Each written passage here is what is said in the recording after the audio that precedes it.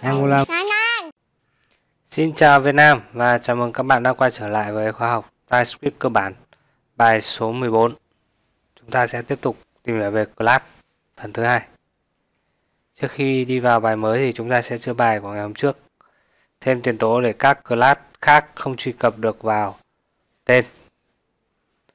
Thì đơn giản thôi chúng ta sẽ đặt tiền tố private ở đâu xin chúc mừng các bạn đã có những câu trả lời đúng. Chúng ta sẽ đi vào bài học của ngày hôm nay. Chúng ta sẽ học về kế thừa, implement. Khi kế thừa dùng từ khóa implement thì các lớp con phải định nghĩa lại các phương thức của lớp cha. Chúng ta sẽ cùng đi vào. Ví dụ ví dụ tôi sẽ tạo ra một à, class mới.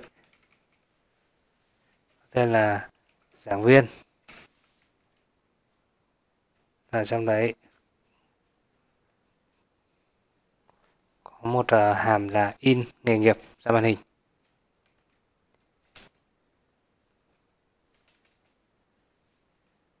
Và chúng ta sẽ viết theo kiểu này.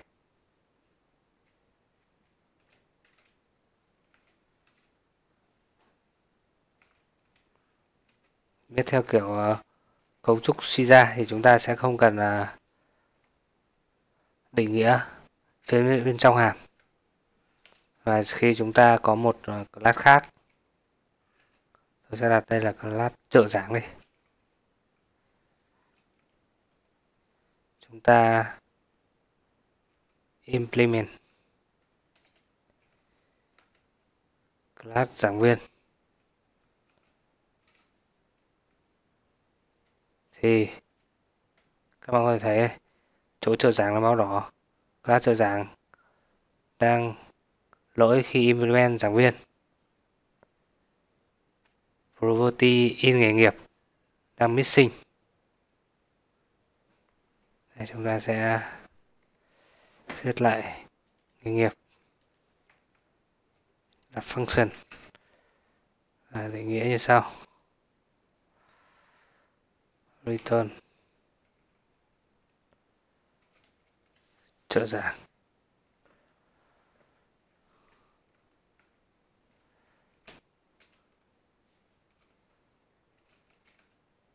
Đấy.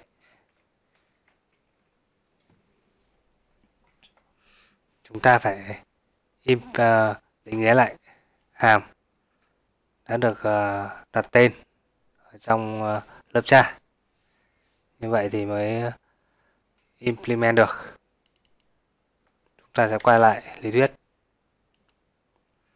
Đối với ờ, phương thức implement thì chúng ta có thể sử dụng đa kế thừa và cách nhau bởi dấu phẩy. Tôi ờ, có một class khác là class uh, giáo uh, tiến sĩ.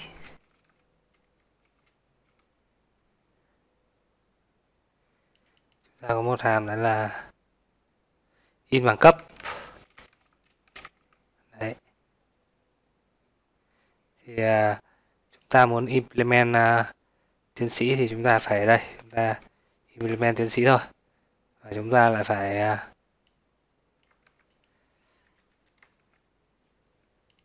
định nghĩa là hàm in bằng cấp. Đây sẽ ghi là bằng cấp là tiến sĩ chẳng hạn. Vậy là chúng ta đã có thể implement nhiều class rồi. Tiếp đến thì một từ khóa nữa cũng có thể dùng để kế thừa đấy là extend. Khi ta dùng extend thì ta không cần định nghĩa lại phương thức uh, của lớp cha và im, extend thì không dùng được đa kế thừa. Ví dụ, ở đây có một class sinh viên. Thì à, tôi sẽ extend.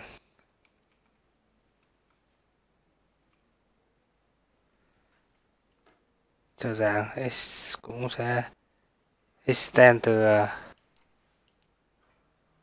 sinh viên extend bình thường có constructor get name và set name.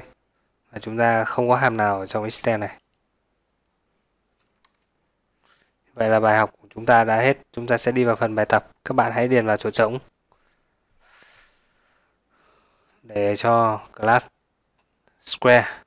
Kế thừa được class rectangle. Bài học của chúng ta đến đây là hết. Xin chào và hẹn gặp lại các bạn ở những bài học tiếp theo trong khóa học cảm ơn các bạn đã theo dõi đến hết video. Nếu các bạn thấy video hay, hãy ấn like. Nếu ấy hữu ích, hãy chia sẻ với bạn bè. Và nhớ subscribe để à, theo dõi và ủng hộ kênh của mình nhé. Xin chào và hẹn gặp lại các bạn ở những video bài học tiếp theo.